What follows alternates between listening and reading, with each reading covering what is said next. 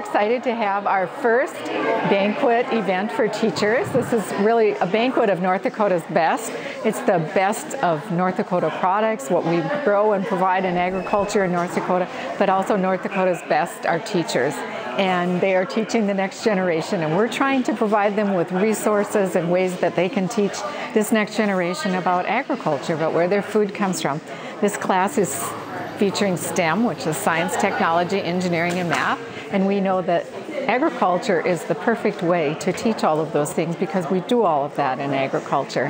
So that's kind of what we've been focusing on. And then this is the last day, kind of a celebration with the teachers, some good food and some excellent speakers. It is the International Year of the Pulse Crops, and so the Northern uh, Pulse Growers Association has provided us with some excellent sponsorship and some of our foods that we've been eating today are from Pulse Crops. And uh, the, the beef that we've had today is from the North Dakota Cattlewomen District 5 that have sponsored the beef. And so uh, we're just looking forward to this being the first of many events like this to follow.